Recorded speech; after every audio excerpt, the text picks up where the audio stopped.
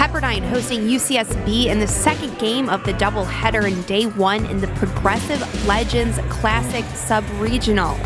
First half, the Gauchos jump out to an early 13 9 lead, but the Waves took a 7 2 run to go up 16 13. Both teams went point for point for much of the half, but UCSB takes a late 12 2 charge to take a 42 33 lead at the half.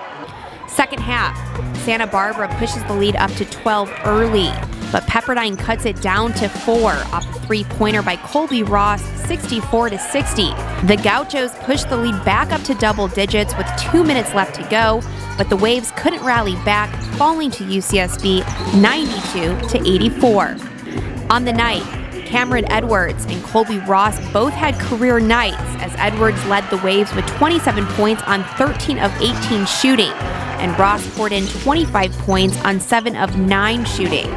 Up next, Pepperdine will take on Oral Roberts in the second night of the Progressive Legends Classic tomorrow at 7:30.